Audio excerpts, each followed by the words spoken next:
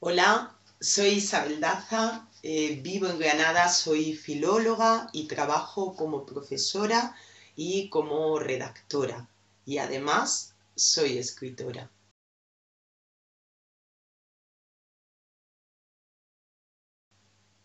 No sé realmente qué me impulsó a empezar a escribir, porque desde que tengo recuerdos la escritura siempre ha estado ahí y siempre ha sido mi forma favorita de expresarme, de tratar de decir algo.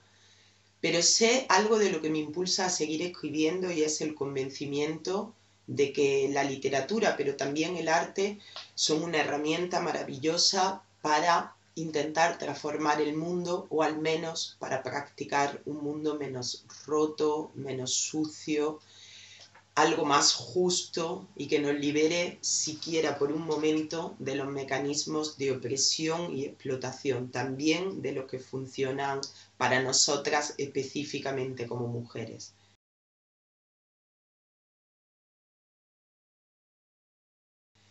Por eso me encantan escritoras como Ángeles Mora, a la que quiero y admiro muchísimo, o Laia Castro, que me fascina su forma de escribir poesía, y la narradora Cristina Morales, eh, ahora mismo una de mis referentes más fuertes, porque considero que de verdad su práctica de la escritura consigue generar un punto de corte, algo nuevo, consiguen romper el discurso literario, en mi opinión, y también con eso eh, crear o generar, inaugurar un nuevo horizonte subjetivo desde el que decir soy mujer.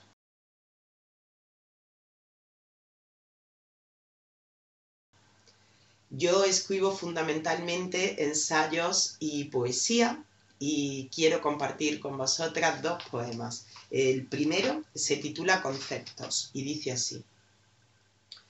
No tu mujer, sino una mujer, pero no la mujer, sino esta mujer, que habla y se desnuda y se alza en su voz y la levanta para ofrecerte un resto, un perfil impreciso, un cuerpo apenas conocido, útil para decir mujer, con toda la nostalgia que conlleva, con toda la esperanza que supone.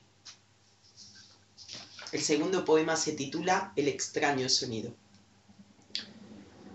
Donde dices destino, di mercado, y al pasar por la E, abre tanto la boca que resulte marcado y espera que esa confusión te explique el resto.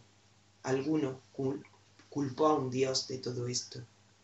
Cuando dices yo soy, di sujeto, sujeta. Procura que la J te raje la garganta y deja que en el interior de la palabra chirríe su falta. Ahora pronuncia culpa. Pa, pa. Escucha el golpe seco de la al caer podrás oír como todo un concepto se derrumba a tus pies y con él el gigante edificio que sostiene.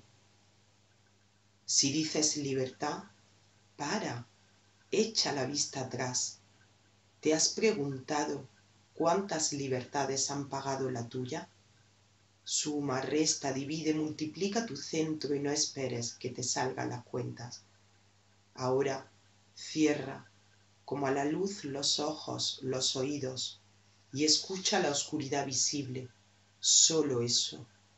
Concéntrate, descéntrate, concéntrate de nuevo. ¿Puedes oír ese ruido? Es tu ruido, el extraño sonido que hacen las cadenas que arrastras.